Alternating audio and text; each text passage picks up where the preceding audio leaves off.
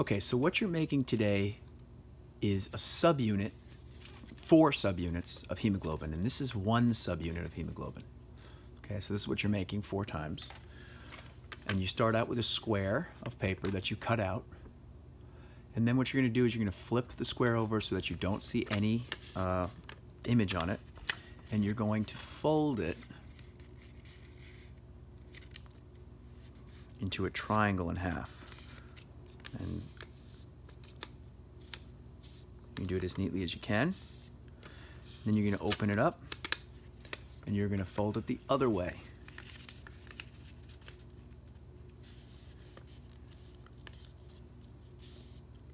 As a triangle, okay? Then you're going to flip it over and there's some dotted guidelines here that you're gonna fold inward.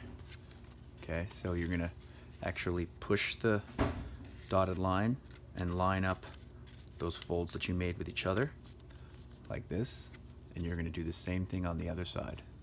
This dotted line you're gonna push in, make sure it creates a point at the top and then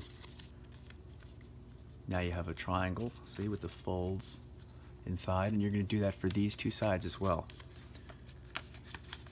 I'm gonna push this dotted line and fold the triangle and there's one more to do. Okay, and there's one of four subunits. And you just might have to crease some of these folds here. Then you're going to take four of these and slip them together. The point of one is going to slide into a, a, a neighbor, okay? And then repeat that process.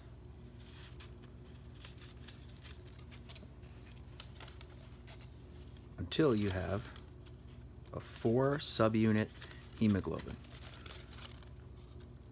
This is our normal hemoglobin because it contains glutamic acid.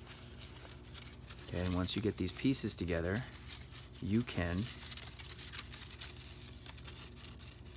put a little tape on them just to hold them together. So you could take a couple pieces of tape and just put them in a couple spots that you think might help hold them together.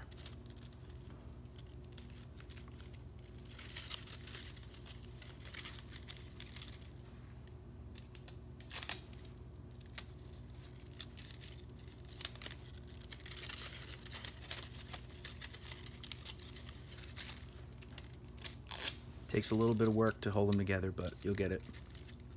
Part of the challenge.